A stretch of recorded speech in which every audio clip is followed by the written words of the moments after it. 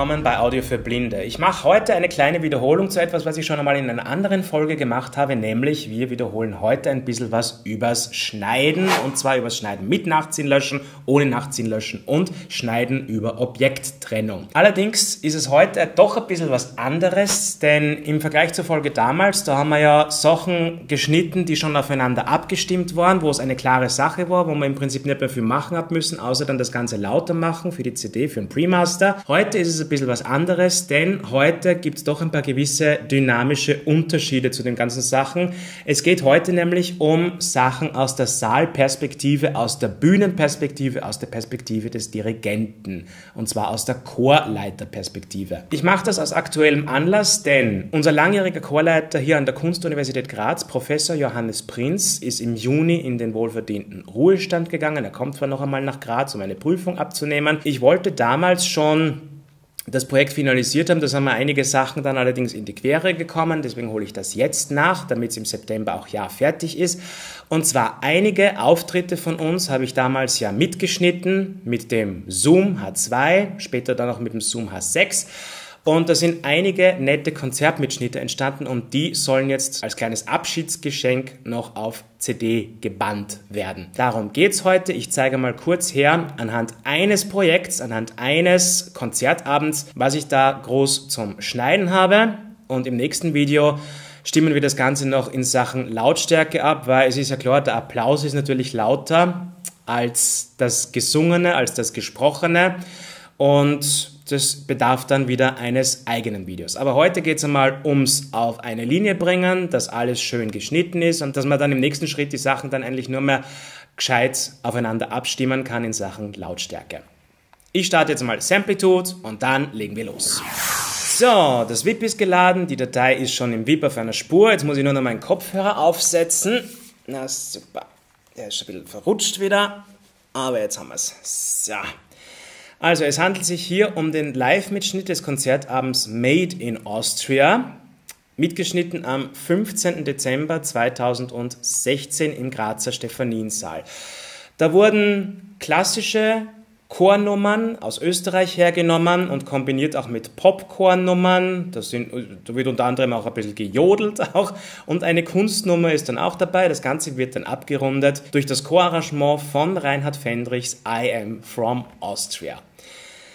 Ja, also, der Zoom wurde aufgestellt, in dem Fall der Zoom H2N, kurz vor Konzertbeginn, unmittelbar neben dem Dirigentenpult, neben dem Chorleiterpult, genau vor der Bühne.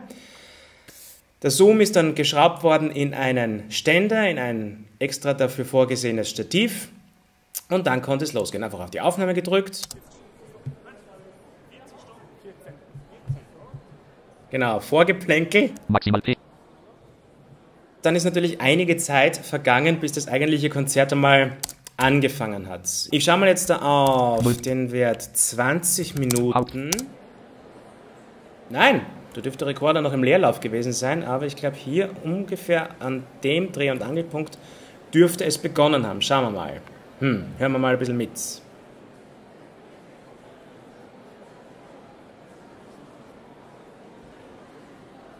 Ja, die Leute reden noch. Mach hier mal Stopp, weiter. Noch ein bisschen.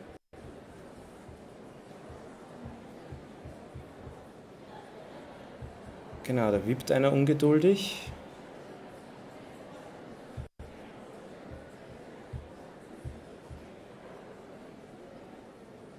Ah, es wird ruhiger.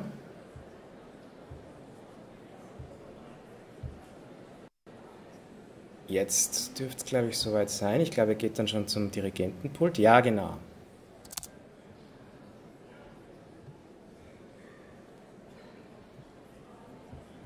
Die ist halt die Frage, ob ich da den ganzen Applaus drauf haben will oder nicht. Na, ich gebe sie vor noch, weil das dürfte ein bisschen eine längere Geschichte noch sein. Schauen wir mal, wie es hier ausschaut bei 22 Minuten. Ah ja, genau. Hier fängt es schon an. So, gehen wir zurück auf 21.30.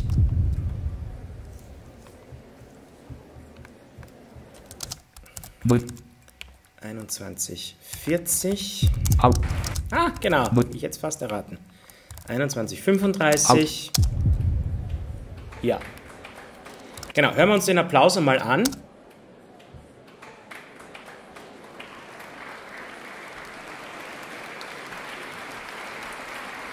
Es muss einer sein, der das Ganze anstartet.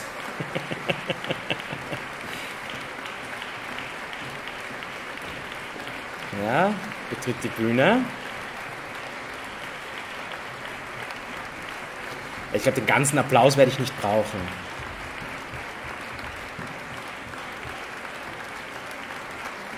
Der stoppt nämlich auch irgendwann einmal. Kommt dann wieder. Ja, okay, da kommt der ganze Chor auf die Bühne.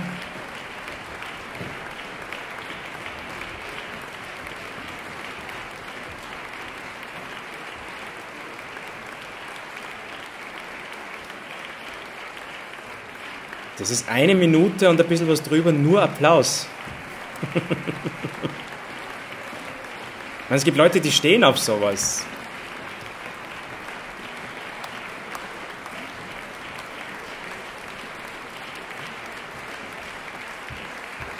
Ich suche jetzt nur nach einem bestimmten Punkt, wo ich skippen kann.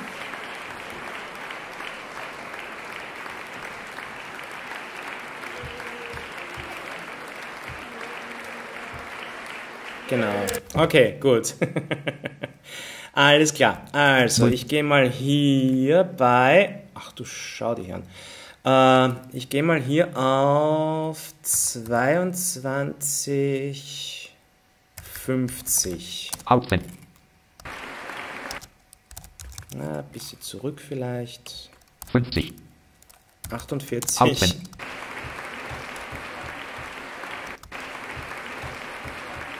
Ja, das brauche ich nicht unbedingt. Ich, ich warte das mal ab, dieses Bum, Bum, Bum, Bum, Bum.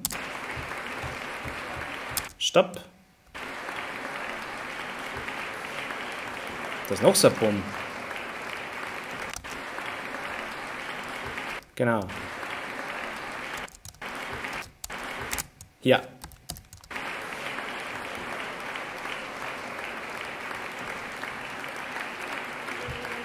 Ja, das ist risk genug eigentlich. Und deswegen mache ich jetzt hier die erste Objekttrennung. So, gehe zurück an den Anfang. Okay, eine Markierung über das erste Objekt. Und weg damit.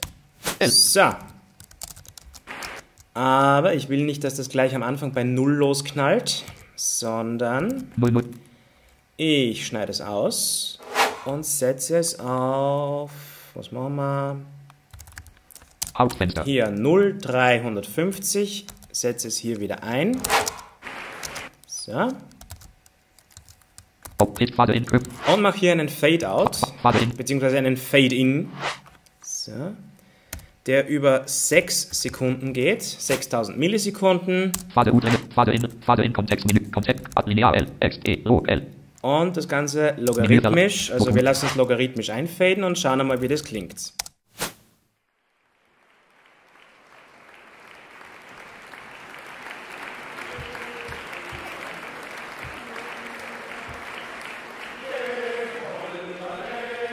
Ja, der Weißensteiner.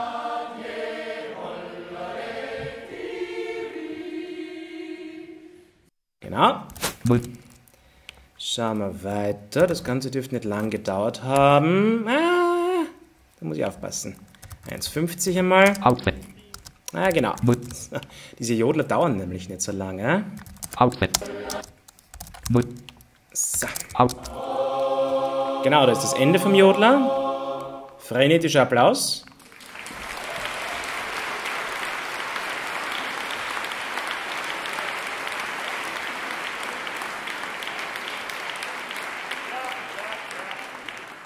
Und hier fängt er seine Rede an.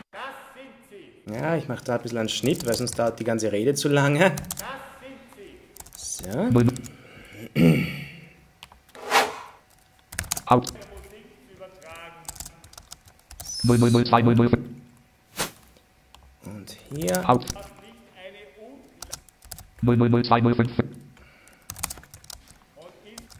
und ist, das, ist, das, ist das nicht eine unglaubliche... Das ist, Schauen wir mal, wie das tut. Weg. Das 0. Weil Das ist ein bisschen Vorgeplänkel. Ich versuche die Rede von ihm ein bisschen zu straffen, weil er sagt im Prinzip bei jedem Konzert das Gleiche. Nicht, dass sich das wiederholt dann irgendwann einmal. Schauen wir mal, ob der Schnitt geglückt ist. Sonst muss ich mir was anderes einfallen lassen. Ist das nicht eine unglaubliche Musik? So wenige Töne, so strotzend voll mit Lebensduft. Ist es nicht? Ja, der Schnitt ist zwar gut, aber man hört, dass geschnitten wurde. Das heißt, ich behelfe mir hier mal einer kleinen Null, null, null. List. 767. Geh auf. Out. Genau.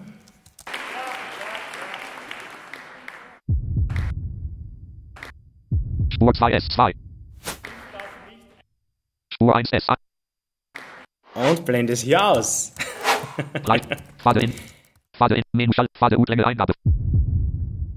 Und zwar mache ich hier 1200 Millisekunden. Schauen wir mal, ob das ausreicht. Ah, man hört es noch. ist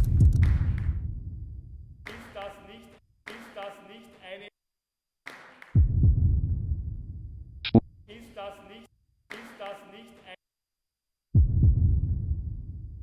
Spur 3 S. Ist das... Ist das nicht eine un... Doch, jetzt muss das funktionieren. Zurück. Und hören wir mal an. Ist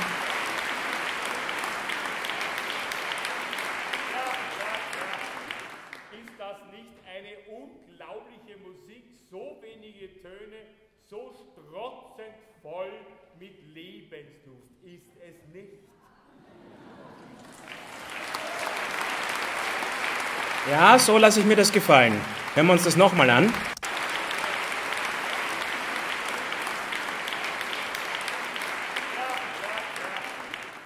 das nicht eine unglaubliche Musik? So wenige Töne, so strotzend voll mit Lebensduft. Ist es nicht?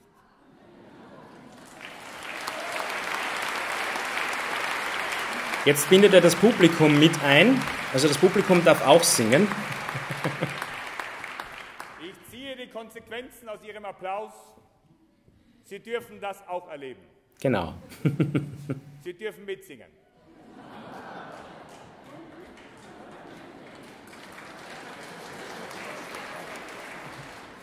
Das ist so eine Gemeinheit eigentlich. Also die Leute erwarten sich ein wunderschönes Konzert und dann werden sie kurzerhand einfach mit eingebunden in das Ganze.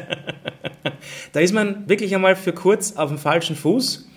Äh, wir, die wir da oben gestanden sind, also ich habe ja mitgesungen in der Geschichte, äh, uns hat das natürlich gewaltig amüsiert da oben. Sind Sie bereit? Sind Sie bereit? Ja! Wirklich? Ja! Es ist wahnsinnig schwer. Ja, also wir lassen das einmal. Ich schaue mal weiter, wo ich das nächste Mal skippen kann, wo ich das nächste Mal schneiden kann. Aufwenden. Nur einmal. Und 0. Genau, also er lernt praktisch dem Publikum diesen einen Jodler an. 0. Alle Stimmen. Aufwenden. Genau, hier ist dann das nächste. Aufwenden. Ah ja, genau, da hören wir rein.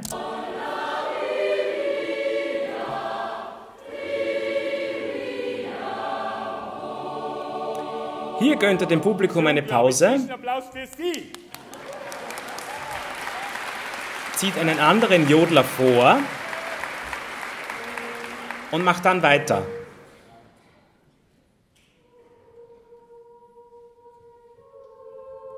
Ja, da brauche ich nichts schneiden. Oder doch? Warte nochmal zurück, nochmal zurück. Das höre ich mir nochmal genau an. 00063. Auf.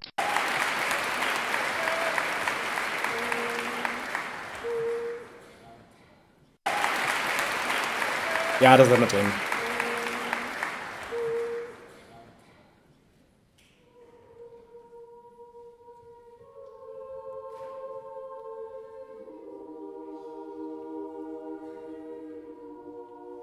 Das nicht ganz abgefälscht und ganz äh, entfremdet ist, dass der Live-Charakter zumindest ein bisschen aufrechterhalten bleibt. So, dann gehen wir hier weiter. 37. Outfit. Ja, da wird der Jodler nochmal gesteigert. 30. Hauptfenster. Geben Sie Text ein.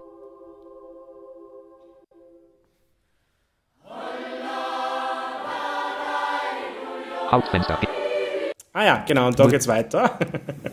Hauptfenster. damit Sie sich erholen können. 0. Haupt. Jetzt geht's hier weiter, nämlich mit dem Publikumsjodler. Das war nur dazwischen, damit Sie sich erholen können. Hollari, wie war das? Genau, hier geht's weiter. Das lasse ich aber so, wie es ist. Ähm, das geht nämlich noch weitere Minuten so. Haupt. 0011. Haupt. Das ist Hauptfenster. Oh, bist du deppert. Das ist nämlich dann für die CD nämlich auch interessant, wie das dann weitergeht. Ähm, ich mache dann hier. Haupt. Nein, wir! Aber wir haben es gleich. Hauptfenster. Ah ja, genau. Stopp, stopp, stopp, stopp, stopp, stopp. Hier ist nämlich eine Pause. Hier kommt nämlich jemand anderer auf die Bühne und dirigiert den Chor übergangsweise weiter, nämlich Rahela Duric, die damals als seine Assistentin angefangen hat. Hauptfenster. Ähm. Aber diesen Wechsel, den schneide ich raus. Bravo!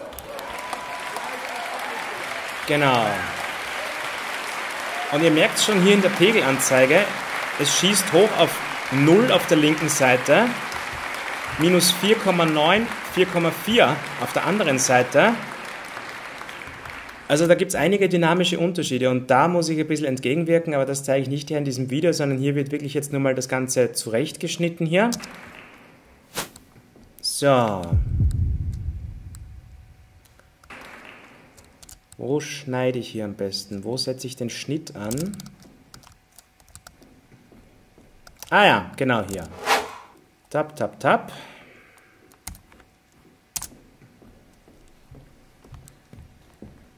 So. Schauen wir mal, wo hier der Chor wieder einsetzt. Ich schätze mal, das dürfte hier sein. Genau, da gibt sie die Töne an.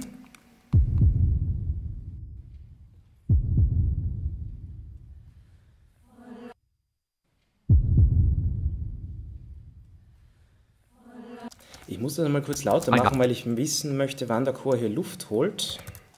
Ah,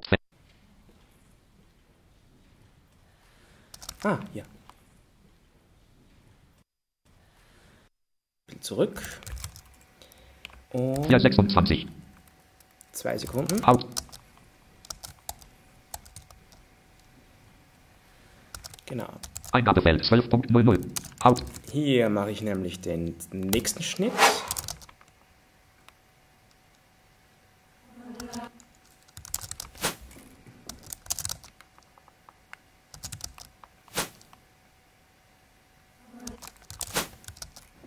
So. Markiere das Objekt und weg mit der. Pause. So. Und damit da keine Lücke entsteht, weil momentan klingt es so. Autsch! Das heißt, ich schneide das hier wieder aus, Spur 1. gehe in die obere Spur. 00. Ich mache das genauso, wie ich es bei Teacher Parents damals gemacht habe, mit zwei Spuren, wo ich dann die Objekte jeweils zwischen den Spuren hin und her schieben kann. 2. Und hier fade ich das Ganze halt. natürlich wieder aus.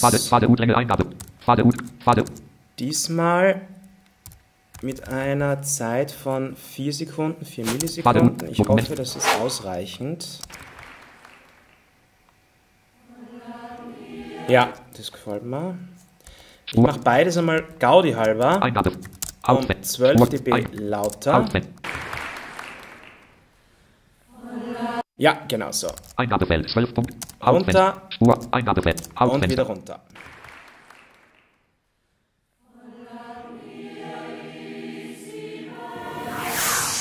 Okay, bis hierher mal. Also ich schneide da jetzt noch ein bisschen weiter. Zumindest äh, den Abschluss muss ich noch schauen, dass ich den gut erwische. Dass eben der Applaus auf der CD dann nicht zu lang wird. Ich meine, das Ganze habe ich dann runtergekürzt von, weiß ich nicht, einer Stunde 20, was die Aufnahme gelaufen ist. Äh, ich glaube, ich steige dann irgendwo aus bei einer Dreiviertelstunde, wenn nicht gar noch ein bisschen weniger. Und im nächsten Video zeige ich dann her, wie ich da mit den Lautstärken ein bisschen äh, arbeite, dass zum Beispiel der Chorgesang ein bisschen an den Applaus angepasst wird, weil man hat es ja vorher gesehen, äh, da gibt es Passagen vom Applaus, wo der Applaus richtig gegen die minus Null knallt und die Chorpassagen da eigentlich im Verhältnis dazu ein bisschen leise geraten sind. Und da schaue ich, dass ich da eine gescheite Balance finde. Ob ich jetzt die Chorpassagen lauter mache oder den Applaus leiser, das muss ich mir anschauen, aber das zeige ich dann, wie gesagt, her im nächsten Video. Ich hoffe mal, euch hat es bis hierher gefallen. Äh, falls ich mich da jetzt in meiner Arbeit hier verloren habe und ihr ein bisschen hilflos daneben gesessen seid und einfach nur jetzt da weggedämmert seid, tut es mir leid. Aber äh, mir kommt es ein bisschen darauf an, dass ein bisschen Auffrischung auch da ist, weil wir haben sowas ähnliches schon mal gemacht und ähm, ja, es äh, schadet einfach nie ein bisschen zu wiederholen und gerade jetzt eben bei Chorgeschichten, weil Chor ist etwas, was ich hier in der Videoreihe eher selten noch gehabt habe. Aber ich finde, Chor kann man gar nicht genug herzeigen, weil es ist jeder Chorabend anders. Es ist jede Aufstellung des Rekorders anders. Es ist jede Choraufstellung auf der Bühne wieder eine komplett andere. Da kann man so viel machen. Und das ist, wie gesagt, nur ein Projekt jetzt. Und ich weiß gar nicht jetzt, wie viele Projekte ich unter Johannes Prinz gesungen habe, aber es waren einige. Und da sind auch einige Konzertmitschnitte entstanden. Aber die zeige ich jetzt natürlich nicht alle en gros her. Das würde ein bisschen zu lange dauern, das wird den Rahmen auch dieser Videoreihe hier sprengen. Aber äh, ich hoffe, ihr hattet jetzt ein bisschen einen Eindruck und einen Einblick, wie man hier arbeiten kann. Nächstes Mal zeige ich ja Lautstärkenanpassung, eben äh, Applaus, Publikum und eben Chorgesang. Und dann schauen wir weiter. Wie gesagt, er kommt im September wieder und da habe ich vor, ihm das Ganze zu geben, dieses ganze Konvolut aus Konzertabenden, Konzertmitschnitten, die er dirigiert hat und wo ich das Vergnügen hatte, mit den Leuten hier mitzusingen. Wenn euch das Ganze gefallen hat, würde ich mich natürlich freuen über einen Daumen nach oben, über einen Like, Lob, Kritik, Anregungen oder Beschwerden sind mir natürlich sehr herzlich willkommen. Ich lese das auch und gebe auch einen Senf dazu.